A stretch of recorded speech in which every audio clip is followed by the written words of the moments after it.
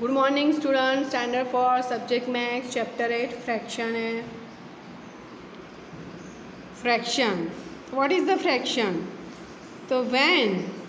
a whole is divided into smaller parts, the smaller parts are called fraction. The resultant number are called fraction number. Fraction as a part of a whole. So in the figure given below, each object is divided into equal number of parts. some part of each figure is shaded the fraction represented by the shaded part written under each figure ये one half हम ये सीख गए third में fraction fractional और number one half कैसे होता है one third two third three fifth five eight अब a fraction of a collection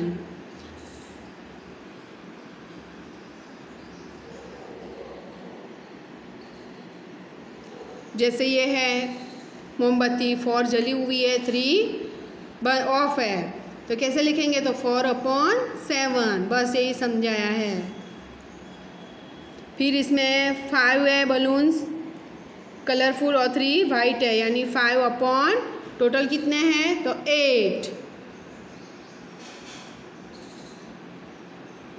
फिर न्यूमिनेटर एंड डेमोनेटर है of a fraction fraction a fraction is a return as two number spread by original the top number of a fraction is the number at and bottom number is the denominator ये भी हम सीख गए ऊपर का होता है वो न्यूमिनेटर होता है नीचे का डेनोमीटर न्यूमिनेटर होता है जैसे यहाँ लिखा है फाइव अपॉन नाइन तो फाइव न्यूमिनेटर और नाइन डेनोमिनेटर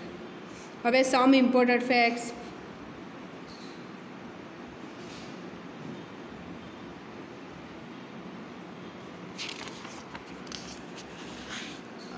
अब revision exercise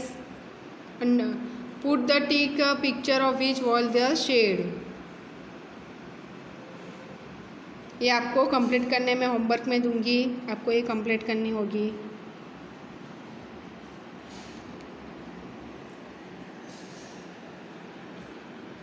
अब fraction on the number lines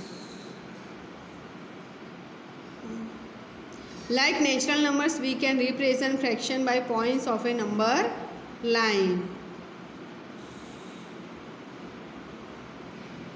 उसमें एग्जाम्पल वन है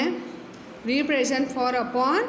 seven on the number line ये मैंने आपको स्केल पे सिखाया हुआ है थर्ड में कि कैसे करते हैं फॉर के ऊपर जाते हैं उसके ऊपर से सेवन लेते हैं फिर फॉर अपॉन सेवन लिख देने का